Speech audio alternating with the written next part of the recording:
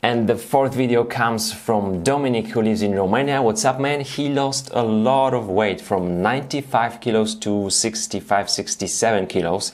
I would love to see more details from you Dominic, so I hope you will join uh, the discussion in the, in the comments or maybe on our Facebook group. Uh, and let's just see how he did it because he's made it by lots of activities. Hi there, I'm Dominic from Romania and I have to make a video about uh, showing how I lost uh, some weight. Uh, well, at first I I was somewhere about uh, 19, 19 kilos, 95 kilos. I started practically mountain bike, uh, especially mountain bike, but even road bike every day about one or two hours a day.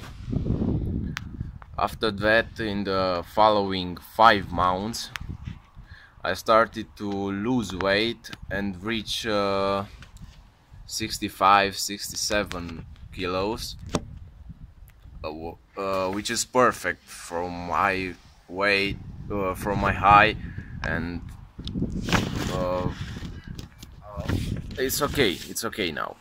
Uh, after I started running preferably a trail run and I started to combine them without losing much weight by keep myself sharp. Uh,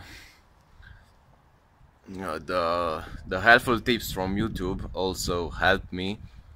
Uh, and I started practically both uh, uh mountain bike and running uh, performance sports these sports going uh, for me to another level to another level uh, more advanced uh, a team uh, good bikes good shoes and